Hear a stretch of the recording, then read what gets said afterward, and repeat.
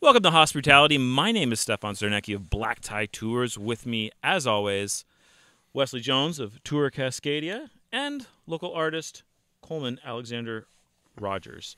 And Did uh, really Coleman? no, no, it's just more fun to say that Oh. way. Uh, Wesley is going to introduce our guest today. Because he's my friend, Yeah. Mr. Paul Losch. Hi guys. Paul, you started working in restaurants at 13 in Pennsylvania. So like officially, my, my parents ran a snack bar. So that was my first uh, foray into food service. Was like a state park snack bar that they contracted for a few summers. Yeah, first like restaurant job was 15. Okay. Yeah. And then you joined the CIA. Well, I, I went to the Culinary Institute of America. Yeah, exactly. I tried the other CIA, but they wouldn't have me. Um, was that because of Anthony Bourdain, or did you just decide? I definitely read the book, um, and for me, like I grew up in a really small town in Pennsylvania, so um, there was like a few schools that were options. There was one in Pittsburgh, there was the CIA in New York, and then there was uh, Johnson Wales and Providence were like the the three at the time.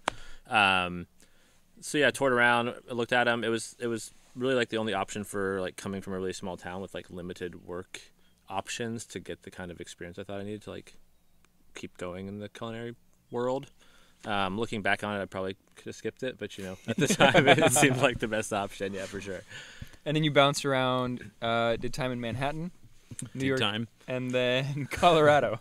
Yeah, so I worked um, kind of like, like coast to coast at this point. So after culinary school, went back to Pennsylvania for a little while. I actually worked at the same restaurant that I like worked at in high school, um, and then Colorado after that for uh, like three and a half years, and then to New York for three and a half years, and then to Portland, which has now been it'll be almost 13 years. Yeah, 12 and a half years in the Portland area. So. What convinced you to get into the restaurant world? What drew you to Um, an uncle. Yeah, I had an uncle that was like super into into cooking. He was actually in the Air Force, um, but he was just always like on about how it was the, the, the coolest job being a chef and like be a chef and, and then uh, so like looked into it and then eighth grade I had to write a report on like you know your career that you wanted to, to, to choose and so that was the the career choice I wrote about did the whole paper and then just uh, Did you get a good grade? apparently just like really really a man of conviction I just never let it go. Uh, Did you get a good grade on the paper? um, I mean, probably. I don't Yeah, know. I mean, I was a pretty decent student, you know. it. Yeah, yeah. I There remember doing all the research like and like shit. reading a ton of stuff and giving the footnotes and all that, you know. So, yeah. Yeah. So I think I probably did all right. That's good. Um, yeah, and then just, I mean, like I said, kind of fell into the the snack bar thing because my parents were doing it, and then yeah, like actually pursued it from like my sophomore year of high school, I guess. Yeah. Hmm. Any Yeah. memorable experiences in New York City or Um, on your way across the country? in I mean, so many, so many, I guess. Like, Any you uh, can talk about? well, food service wise, or just like in general. I mean, Mostly food service. but- Yeah, or in um, general. Well, in Manhattan, it's interesting. Like in New York in general, I guess I kind of, and this is probably just like the nature of my personality. Was like I, I, um, didn't do super well working for like any one person for very long. So I Mm. worked a lot of short jobs and primarily openings. So I would like, I think I, Mm. I think I worked at five or six places in New York that were like new opens. Oh my So like starting God. starting So before the creation process. doing the whole process. burnout thing for like six months, working really hard, and then just like going somewhere else and doing it again. Yeah. Um, which, I mean, it was I think, I think good in the end for like having that experience of like helping to open places. Obviously, open places. Obviously, trying to do it for myself later. Um, but it's definitely, I think, was like high burnout territory too. Yeah. It's like a lot of really long days at that point, and a lot of like, you know, nothing is. There's no. All the systems are fluctuating. Everything's just up in the air all the time. It's like, it's just, super controlled chaos. You know. Yeah. So, um, yeah. So I mean, I've worked in a ton of different kitchens. I mean, like everything from, like in Colorado, I was working at like a startup chain restaurant that wanted to be near like airports. So like part of the restaurant was in like an airplane, like a decommissioned airplane. You, know, you sat like in the tube of it, you know. Okay. Um, and that was an interesting one because we were trying to build it for like expansion, you know. So it was Yeah. like trying to get everything super dialed in, but just a really, that was a pretty odd like work environment, you know, just all in all. In Uh, plane? yeah, yeah. I mean, just the it was Colorado Springs too, which is just like an interesting clientele. It was like 2000 and it was 2001. Yeah. So What's the vibe in Colorado Springs like? well, it's so it's an interesting place, right? There's like five military installations around, Mhm. um, including like NORAD, um, which is like the mountain. You know, it's like the place that's buried in the Rockies that you know nobody's supposed to be able to get to. Um, it's also we're focused on the family is centered, so it has Oh, like God, pretty James like Dobson. interesting like Instrumental to my conservative childhood. bent, but there's also like some very like Scarred. hippie-ish areas and the kind of progressive Colorado thing going on. So it's It's like a clash of cultures. yeah. yeah you know, I think in the early 2000s it was dealing with a lot of uh, like the same issues that a lot of the West was dealing with as far as like drug problems and you know just like rapidly expanding and not really super managed well. So um, yeah, the vibe there was kind of just like it- it was just I mean it's probably just like as suburban as you can imagine in a way. You know, just very, very odd. Now we're taking hospitality on the road, the end of May Yeah. to New York. are you? Any? uh I spent a little bit of time in New York growing up, but like any great tips for uh something that we have to check out? I mean, honestly, I've been gone for so long that I don't know that I could like give you a great tip on something that, that is like currently Post COVID. Yeah, yeah. like, no, fair enough. like this one hole in the wall place know. is great. Like, f- like for me, I think it's uh, anytime I go to explore like a city like that, I think um, having like a very light plan is good. You know, so you just do like a little research and find a couple places, but then talk to like the bartenders, you Sure. know, and the server and stuff, and be willing to like walk around a little bit, explore the trains. You know, don't be don't be afraid to get to like an outer borough because a lot of the coolest stuff that's happening is probably not like right in Manhattan or right in like the heart of Brooklyn or something. You know, Sure. so hmm. I think being willing to just like explore a little bit. Bikes. So pack light. We're gonna rent bikes. I like it. Um, how'd you? Biking in New York is an experience. only I want to do a bike tour of Brooklyn. That's my only time. I've ever been hit by a car on a bike was by a No. New York a New York uh, policeman, Oh, like shit. right outside of the uh, department. Yeah. Did he, get, did he get a ticket? no, he just pulled out. I think I think I was going the So- wrong way up a one way street, you know. So it's just kind of one of those things where it was like landed on the hood, then popped up and was just like, he's like, "Are you okay?" I'm like, "I'm fine," and just jumped on my bike and took off again. You know, Oh my 'cause I didn't- god! didn't really want to You wouldn't deal with even the have whole to be. situation. You wouldn't even have to be working right now if you could have worked that uh, situation. yeah, it right wasn't now. like it that was wasn't the adrenaline dramatic, saying you were fine. Your brain would have been like, "Come on, okay, let's go." Yeah. Yeah, dude. Uh, Oh Yeah, just my goodness. get out of there.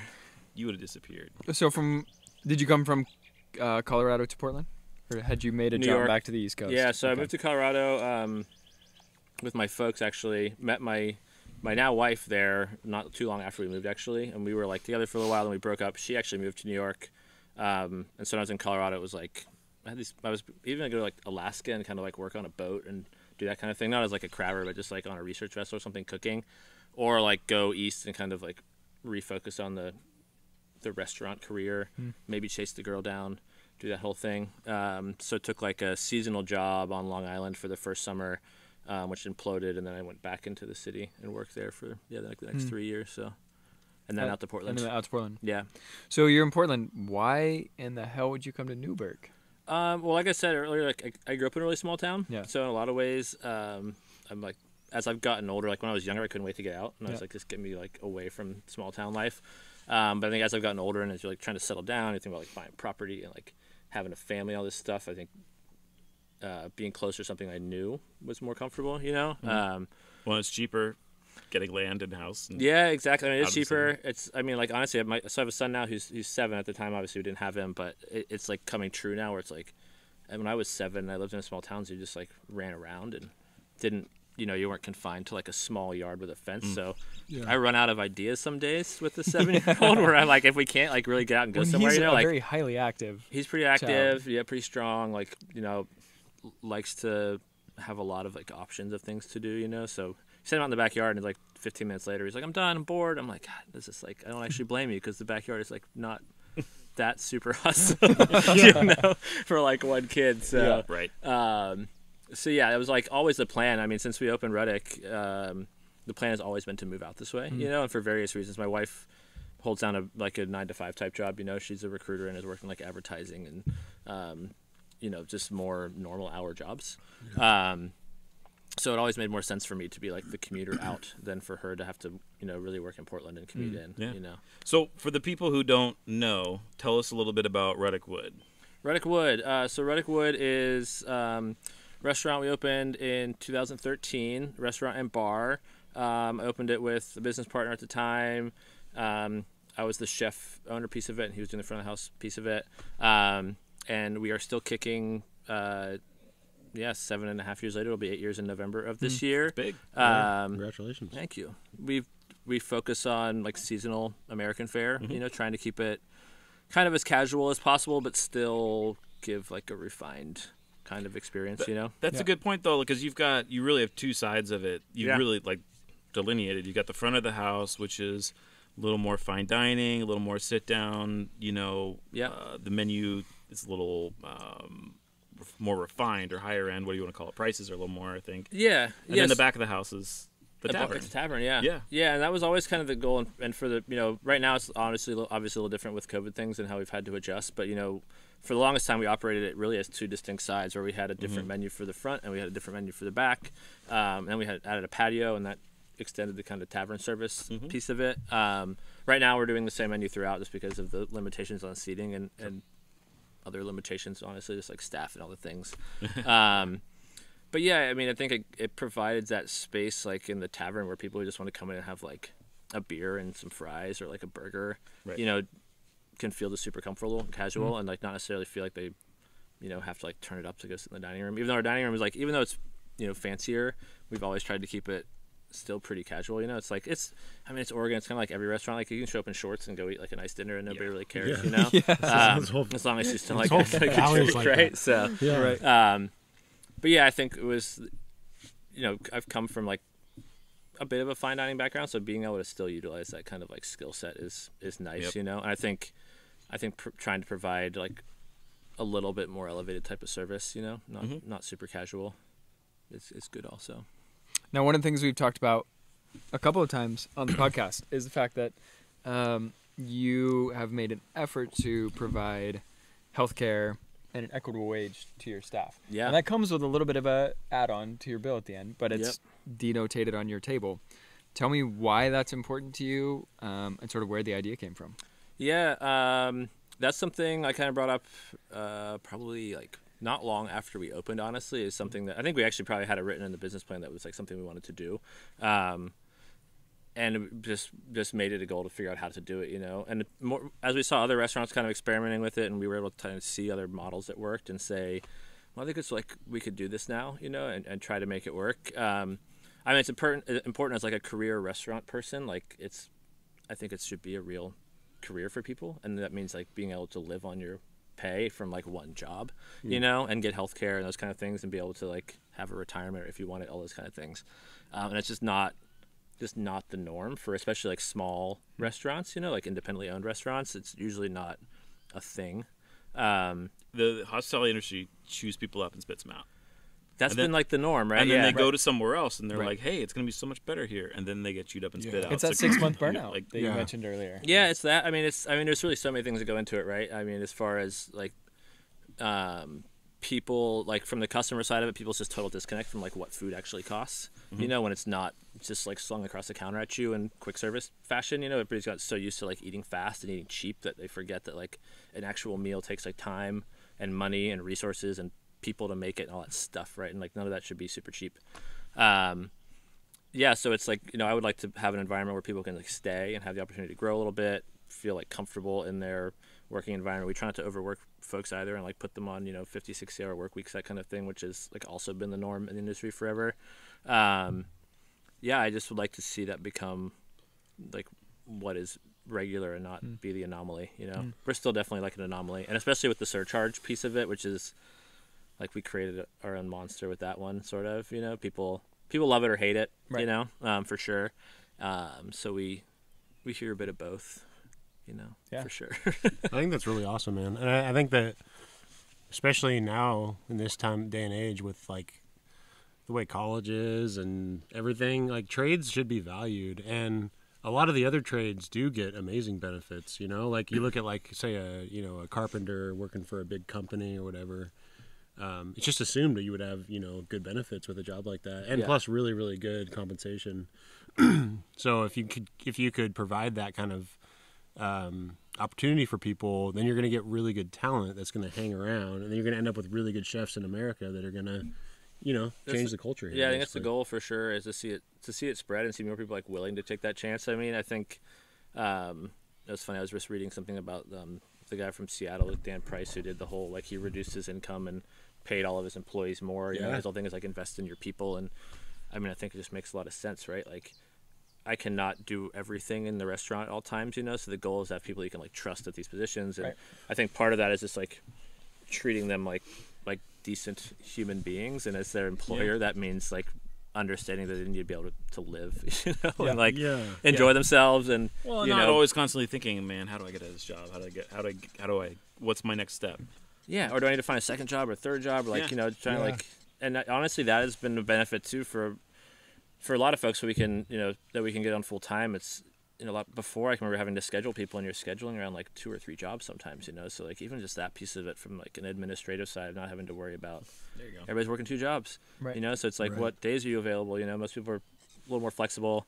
Um, you know, we also implemented temp, tip sharing last year, like post the original closure, Mm-hmm. COVID closure, um, which has added just a bit more stability for folks too, where they don't have these giant swings in their in their pay because maybe they worked a, a slow shift and you know somebody else got a busy one, and that kind of thing. So it, Yeah. it balances out a bit. Now you mentioned the cost that it, the cost of preparing a really good meal. One of the things that your social media highlights really well is your connection to your farmers. Yeah. Um, one, it's fun to to watch and kind of as as people who typically are disconnected from the kitchen get to actually see the farmers. yeah. Uh, they're not typically the ones that are celebrated when it comes to a great meal, but I feel like you guys do a really good job of that. Yeah, I mean, I think, I mean, that's, I mean, like probably my favorite. like, Like it's the cliche thing. I think for like Oregon chefs, right? It's like the best part about this part of the country is there are so many, like good small farmers, and the the growing season here is ridiculous, and the the ability to grow like really high quality ingredients and you know raise really high quality animals and stuff is just pretty amazing.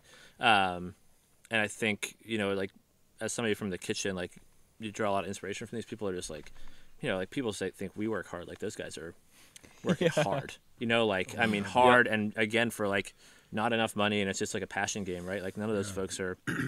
There's some of them, I guess, but not, probably not. I mean, it's it's a long road to getting rich in that game, you know, um, and so they're just they're just like in it for the love of going growing good produce or like raising good animals and that kind of thing, you know. So And I don't think our culture values that. The, the, in the same way that they value the sexiness of what it looks like in the kitchen and Top Chef and all this stuff.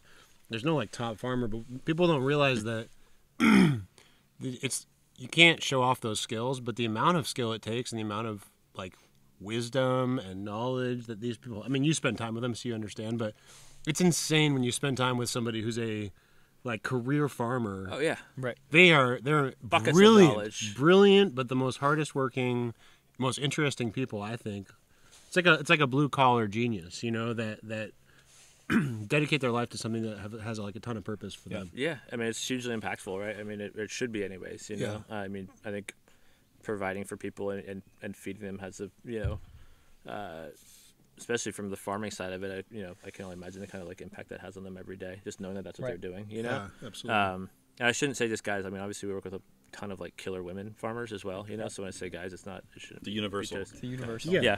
yeah, Um, I mean, honestly, like, probably two of our favorite farmers are women-led farms with Evenpool, Beth at Evenpool, and then Yeah. Kara at Vibrant Valley Yep. up on on Sauvie. Like, just crush it, and they Yep. just do so much cool stuff. Um, and you know, it's not only produce, you know, it's flowers, or you know, Mm-hmm. Vibrant Valley is doing indigo and doing all these cool projects with that. Like, Mm. just seeing people like you said get really passionate about something and just be so involved and so smart and so hardworking is, it's inspiring and it's like hard not like if you're around that kind of thing, you know, you don't want to be like just taking the easy way Right. you know Right. like Right. it's just Do not something Well, and if Yeah. you're Yeah. watching, Evenpol uh, has a station at the Mac uh, Farmers Market. So if you're watching, you want to go get some of that produce, go check them out. They're yeah, go support them. they're incredible. absolutely support your local farmers Yeah, all the time Now, something else that Ruddick's really good about, and something that I noticed because I pay attention, is that when there is a need in the community, uh, you guys have shown up multiple times. The one that's most memorable for me is is because Ruddick or Ruddick and Renegade joined up Yeah. uh, during the the big forest fires this last season. yeah Um, why is it important to to you, to your crew? Uh, I know why it's important to Nick and I. We're- Yeah. we're deeply oriented in our community, but for you to kind of sideline operations and put as much of the logistical work into that that you did, uh, I mean, it took a, a ton of time. I got to watch it. Why is why is that important? Why do you do that when when other Uh, folks may skip over it? yeah i mean i mean i think sometimes just like well, like the situation with the fires was just seeing seeing an obvious need, right, and just saying, well, this is something that we can do to be to be helpful, you know, um, and especially once the fires got so close that it was actually within Newberg, right, and there were Right. people that are customers of ours and, and guests that come in that are being affected by this, you know, and and just saying, well, you know, we obviously aren't firefighters. We're not going to be out there like doing that that piece of the and work, I certainly you know can't take care of your horse. and you know and it's like yeah we and it's like we can't you know we're not going to be we're not necessarily going to be operating because Right. people aren't traveling all that kind of stuff you know it's like so we need to be kind of need to be doing something and you know we have product to use and we've got people that, that want to do something Yeah. you know so Mm-hmm. um yeah just trying to put it to put it to good use and i think the fires are obviously like the most ex- extreme example Right. of that you know Right. where it did you know, it started off as like honestly, like I think it was a simple text. I think I texted Cody and Nick both. and I was like, "Hey, you guys want to sling some food, people?" And it was like, "Yeah, cool." And it was like, maybe we'll feed like 50 people. And then like two days later, it was like 800 people. You know, and it was like this. It just went so quick. Right. You know. Um, What's cool is it started as a mutual aid project. It started as neighbors taking care of neighbors. absolutely. Yeah. Um, People donated money directly saw- to us, Yeah, like, yeah. money and produce from their gardens. Um, Yeah. We had meat that was donated. yeah. Uh, and then World, why am I the Central? Kitchen. World Central Kitchen came in. Yeah. And and kind of helped out with some of the burden later on when the meals started becoming pretty large. Like the number of meals. What was the total number of meals that we put out? Do you remember? Um, I'd have to pull it up. I mean, it was like a little over 2,000. I, Yeah. I want to say, or like a bit maybe close to 2,500 in that Yeah. in that neighborhood. Mm. You know, and a lot of that was like honestly over probably two days. Yeah. Where there was two days where it was we were sending food like Yeah. to Molalla and just all over the place. Yeah. You know, and then it, it's kind of ramped back really quickly as well. But um, yeah, I mean, it was like super inspiring to just see that kind of support from the community. Yeah. You know, because like you go into it thinking. Well, maybe we can make this work, you know. Like Right. we'll we'll try and we'll see what happens, and maybe we'll just get like a few donations, and it's like really not going to be something we can continue unless we're just like coming out of pocket for all of it, Right. which is tricky in a COVID year, obviously, you know.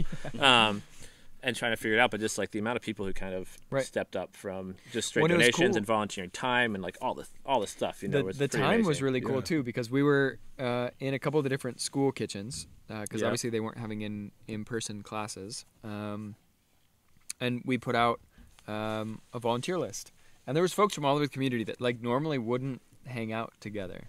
So you're seeing folks that are from all age demographics, uh, socioeconomic backgrounds that all just showed up because there was a need. Yeah. It was it was pretty cool to be a part of. Yeah. Yeah. And I think that's like, I mean, one of those things we, we would hope to kind of bring back to and like with Ruddick and like, you know, our experience, and we've said this from the beginning, I think is like having it be like a community, like gathering place, you know? And I think that, you know, obviously there are going to be people across a broad spectrum, like you said, of, of classes and political beliefs and all these things that are in the community, right? And, um, and I think it's better to have a place where you can kind of allow some of that to meld and mingle, you know, in a in a in a form that's not, um, you know, it's it's it shouldn't be like combative or Right. you know, um, like a negative interaction all the time, you know. So it's good for folks to yeah to interact with people that are not exactly like them all the time. You know? like, Grab a beer, break some bread, and uh, Jesus, have a truer words have never been said on this show.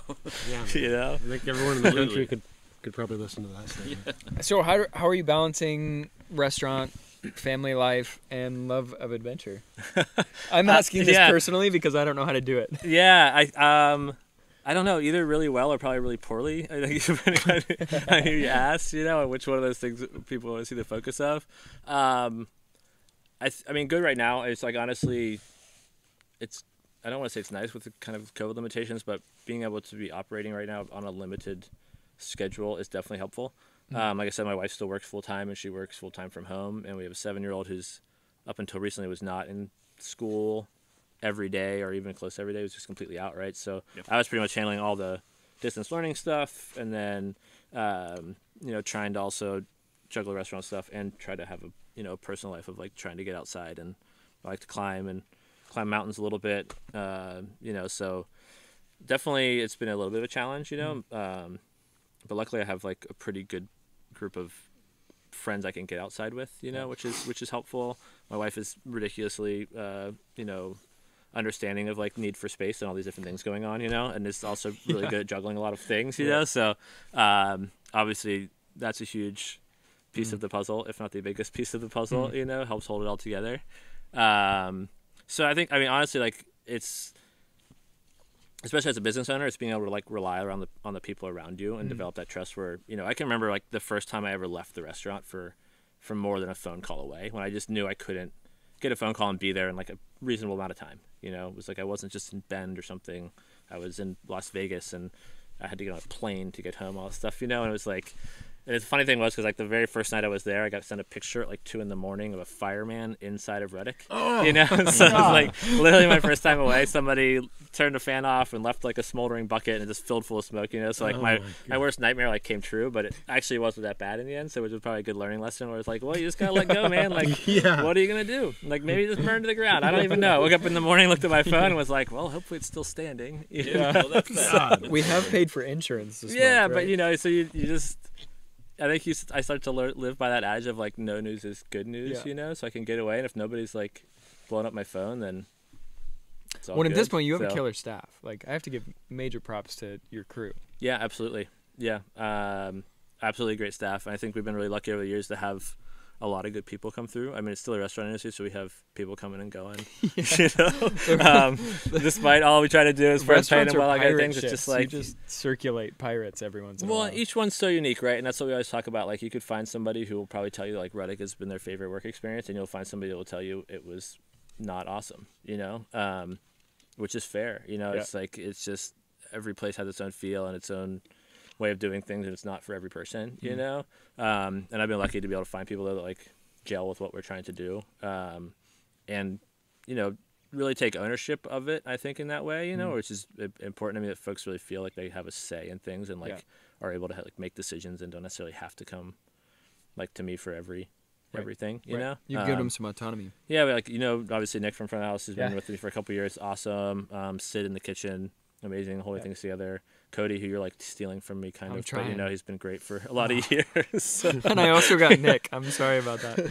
Um, yeah he was Yeah. always a wild one we knew Yeah. he was Yeah. going so was cody though He's so a it's wildcat. fine. he was just in tonight so i still yeah we still see him all the time just saw him and him and the family just a Yeah. little bit ago Okay, so. if your chef idol, whether that's Anthony Bourdain back from the dead or whatever, yeah was sitting down and you had to feed this person, oh man what's your go-to? Like, I know I can fucking kill this, and they're gonna like it. Um, I'm a big on just like fresh seafood in those situations. I think Yeah. like obviously like my thing is um trying to do something local, so like I would probably just start at like the market and see what I could find and a good piece of fish, um, preferably a grill if I had access to it. I think using using fire on things.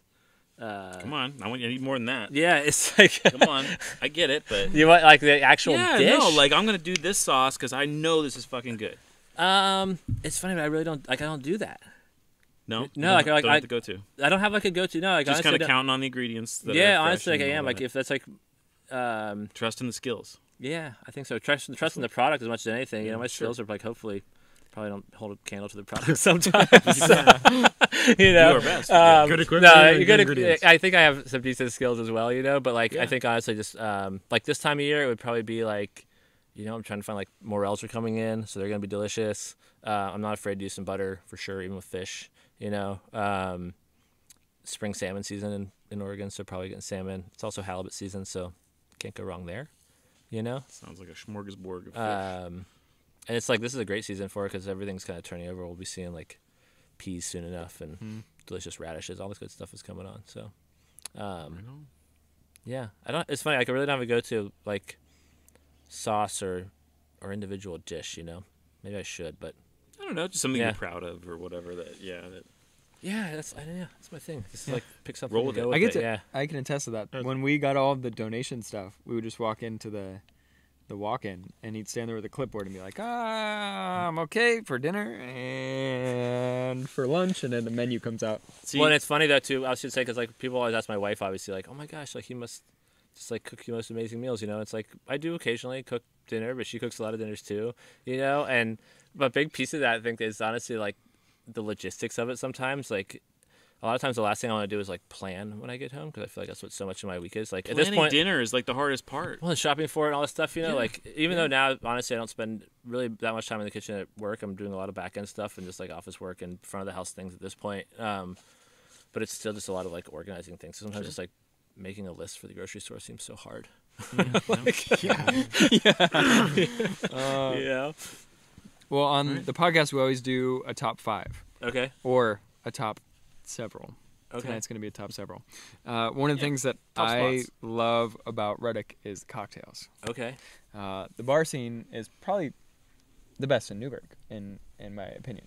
I Um, appreciate that. Yeah. I, I've consumed a lot of alcohol at your bar in my time. It is four blocks away from my house, so I can just stumble home. Yeah, you which can make is- it home in most, in which most is shapes. That might really have nice. something to do with We would never Um, let you stumble out. But we're so tonight the the list. Well, it's only if I'm outside. I can sneak away before they know I'm inebriated. Uh, is our top places for cocktails. So Okay. obviously you guys are spearheading the list. Okay. Uh, I'm a huge fan of the Allison. I love the Allison bar.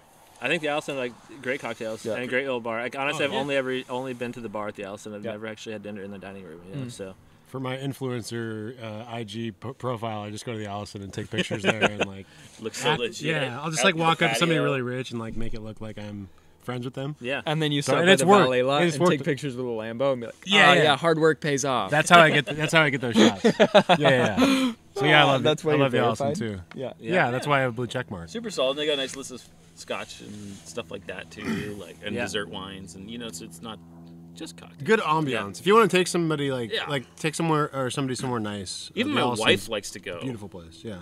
to the Allison bar. Wow. I know. Well, one she of doesn't my like to go. I She don't know if doesn't like I don't know if they're still people around, but or Thistle going was one of my Yes. favorite places for a cocktail. But Yeah. So Thistle's on my list. Okay. Thistle and Mac. What was, kidding, what's the name I of know you the, people. bartender? I feel terrible. I should know this. I want to say it was like a Steven Steve. Steven? At, at, maybe. At Thistle? Thistle. He's the What's only bartender south of Portland that I've ever been able to say, like, I'm in this mood. And he comes out with the perfect cocktail. Yeah, they had killer cocktails. Yeah. Absolutely. Thistle, Thistle, We're- McMinnville. we're- Not open yet. We're waiting for them yeah. to reopen. Good spot. Very Got cool. a couple good, Really really, good. good. dinners there. Yeah. And great cocktails. Um, my good friend Sam Saxon still has a few cocktails on the old Trellis list. Although he's not. I don't think he's still there anymore. He's on a list, but the Samuel. cocktail- is he not guest? Ian- Ian, is he still there? Sometimes. oh, he's Yeah. part. Okay, so he's there. The Samuel is, Samuel uh, is one of my favorites at, One of the at the old people I know. Trellis. in the world. Um, Earth and Sea had a decent cocktail list. It was pretty small. I loved. Yeah, but they were good, and it was, yeah, it was good. and again, Yeah, this is kind of like a all ordered foo-foo list. This is more Right. More all of a good. foo-foo list. Yeah. You know, Oh, not, for sure. Not like this is not the dive bar list. You know. yeah, No, it was this a is craft- fancy, craft fancy cocktails. cocktail. Craft Yeah. cocktails. That's a nice whiskey sour there. Yeah. Um, did you mention conservatory?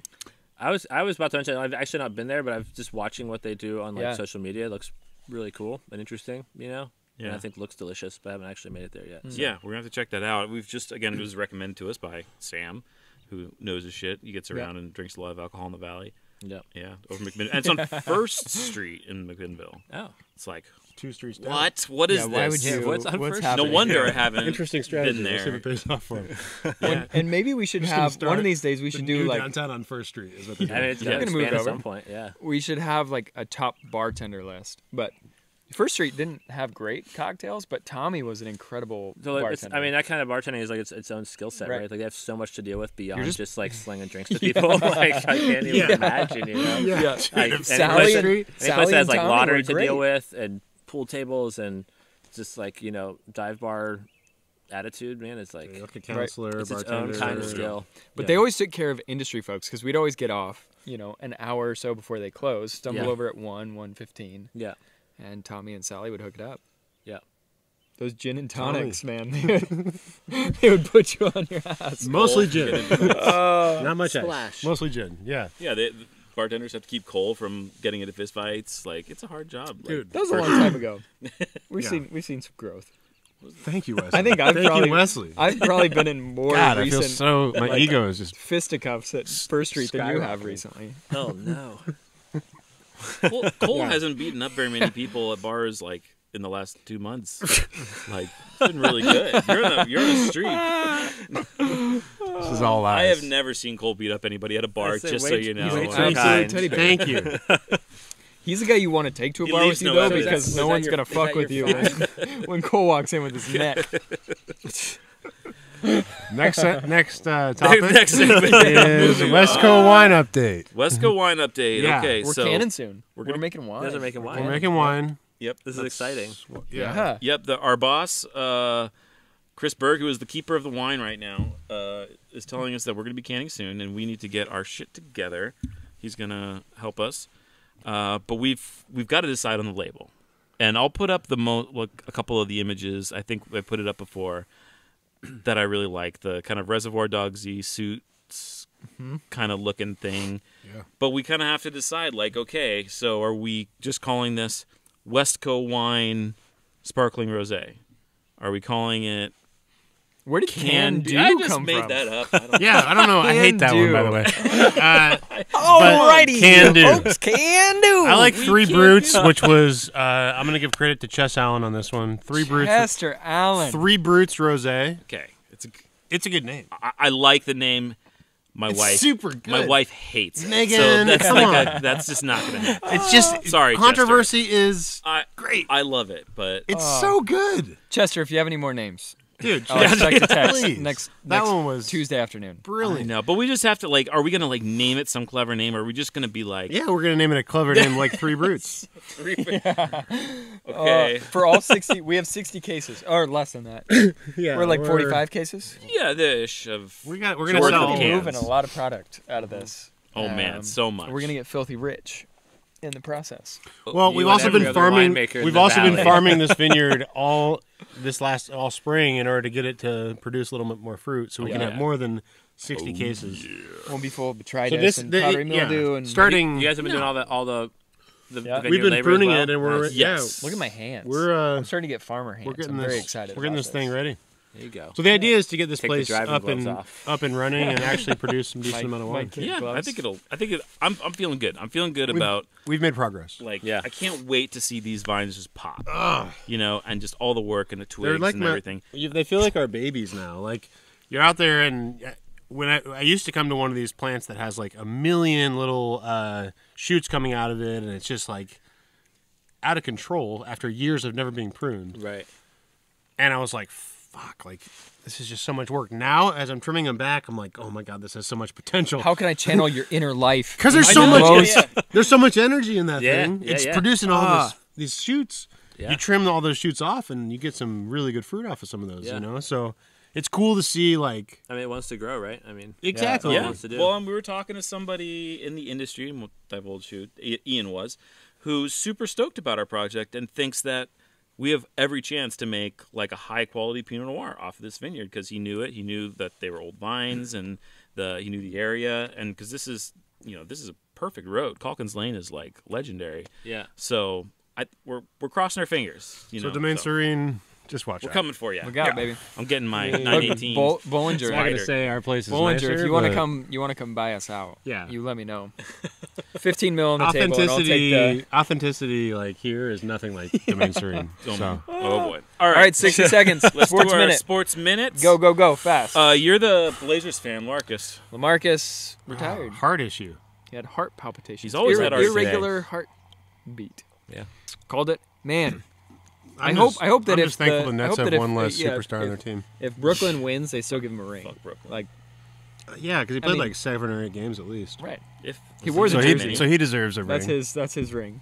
Yeah, He no, wasn't he getting can't get it a anywhere ring. else. He can't get a ring.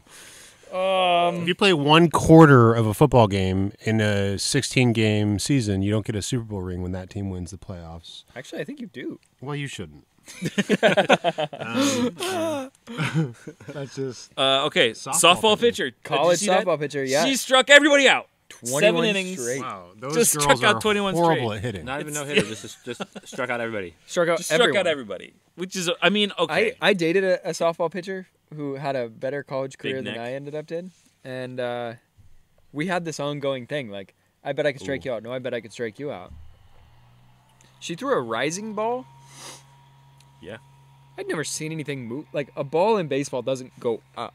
It doesn't.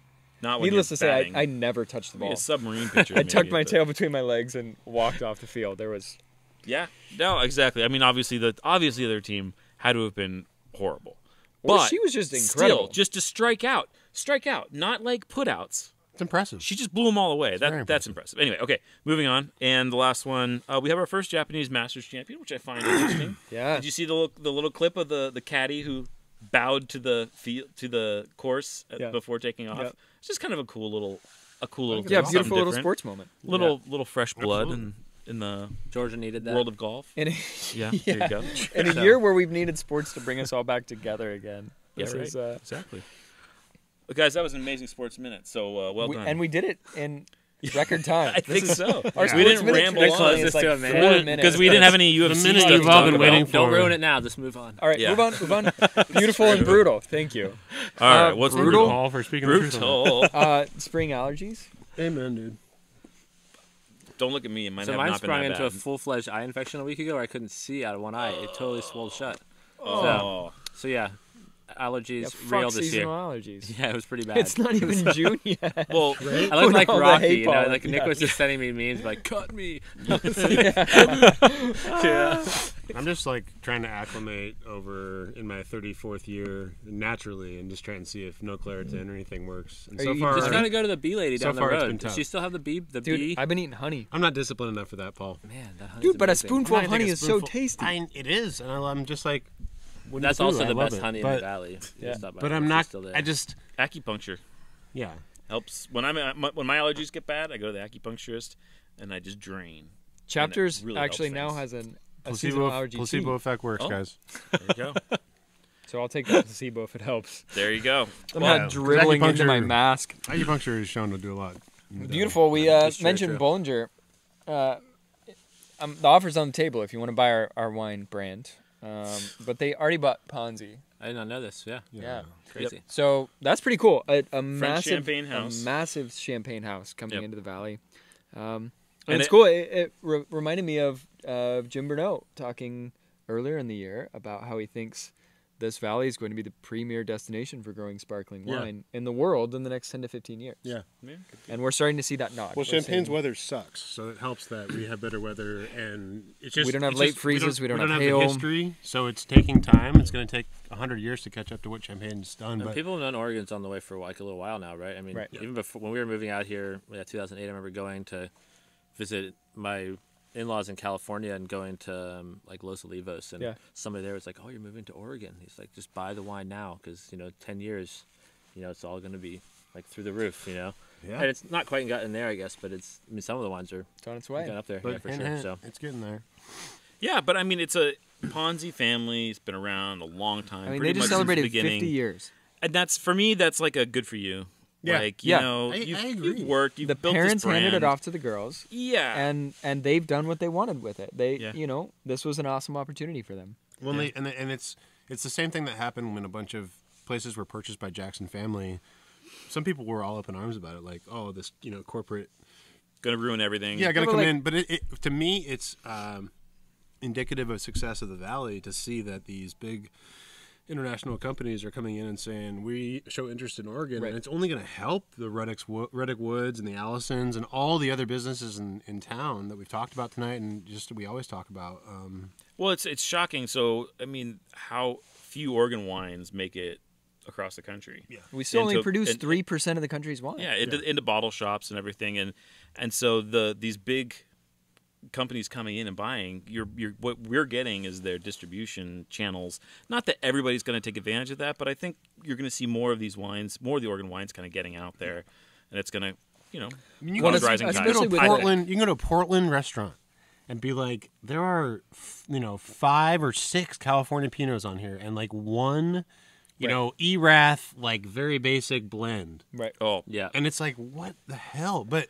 that's part of this that changes that is that these California has much more corporations, much more success, Oh, yeah. much more credit, and so this is this gives credit to Oregon. well, and to, opinion. to Jackson's credit, they acquired the wineries and really left them in Yeah, operation the way yeah, that they were. They just added that distribution channel and a little bit of things like healthcare Right. and retirement plans. And, Exactly. you know, Yeah. exactly. so Yeah, as long as you for- come and you're a good neighbor, if you come and you're Yeah. not a good neighbor, we'll ride you out of town on the horse you came in with. But you're right. if you come, Oh you're, yeah, you're a good neighbor. We, like we've talked shit about a certain California winery coming up, and we do not like them, and I'm not bringing people to them, and that's a, that's a good example of right. how not to do it. Right. And you know, hopefully they change their tune, but you know, we'll call them out every time. There's two tour To me. companies that aren't. Silver Oak, fuck you. Get So, your shit together. anyway, um, all right. Paul, thanks for coming. Yeah. Thanks, Paul. Thanks, guys. Yeah, man. Good hanging out Pleasure. with you at the venue. Nice. Thanks a lot. out as Looking well. forward to getting back out on that Beautiful, deck. And beautiful day to be out here. Oh my I gosh. I God, thought this- for sure I was gonna have to go run If and the get my camera coat. could see the sunset, But it is yep, gorgeous. We got a silhouette with a little orange. Yep, beautiful. Ian's So, dancing like right in between those two oak trees. He's right there. running nude through the It's super hot. vineyard. Yeah. Beautiful thing. It's a good Run, thing- Ian! What was that? There's a Damn. I've never seen that move before. Yeah. Yeah. exactly. All right. If you enjoyed Oh, this man. and anything else, uh, please uh, like, subscribe, share, Follow Ruddick Wood on social check media. Check out Ruddick Wood. Yep, on social media. and then go actually visit them in person. yeah, and then follow Follow them. them, but then go And then buy follow some up. Yeah, yeah, come, come see us when Yeah. you're in the area. And hey, Yeah.